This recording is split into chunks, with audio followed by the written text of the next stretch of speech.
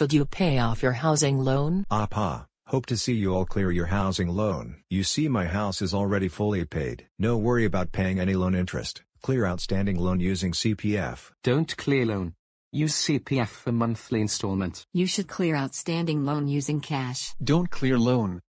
Use cash for monthly installment. Who is right?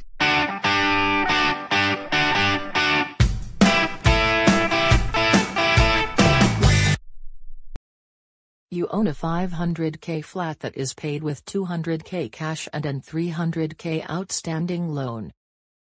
Clear outstanding loan using $300,000 cash. There is no interest. So no lose no gain. If you pay 20 years of monthly installment using cash, the total loan with interest is $385,200.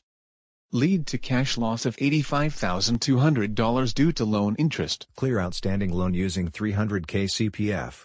Due to CPF used plus accrued interest, the cash loss is $194,359. If you don't clear loan and pay monthly installment using CPF, it caused you a cash loss of $199,114. The more CPF you use, the less cash proceed you get.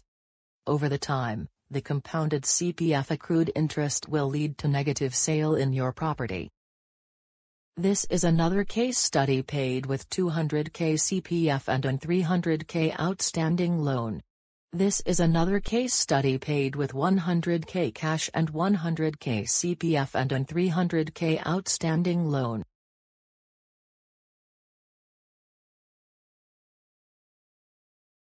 Pay off your loan using cash gives you the least loss.